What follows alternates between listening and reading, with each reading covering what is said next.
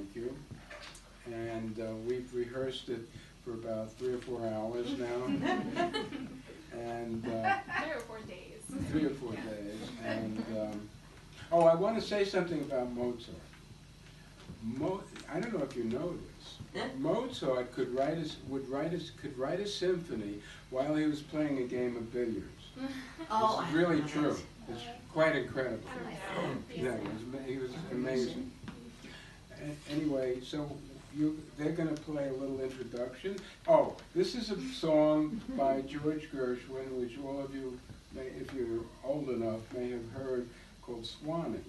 And he wrote it when he was 19, and he became very wealthy because of this song, because Al Jolson, who remembers Al Jolson? sang it and uh, made the song very popular. So I've changed the words a lot. It's called To Nancy on a Birthday, and I have a, a copy suitable for framing. That doesn't mean you have to frame it. Okay, ready?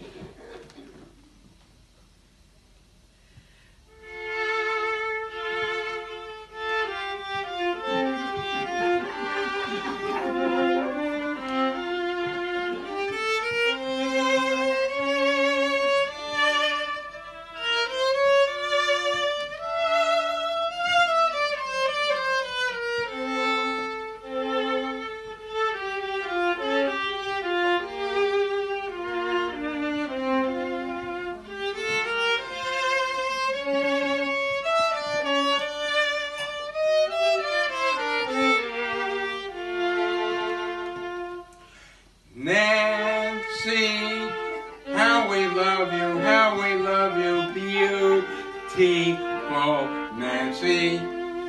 You've helped good women know just how to work and go, go, go, go, go, go, go. Nancy, how we love you, how we love you, dear, sweet, kind Nancy. We love you more than our words can say. Every day by day by day.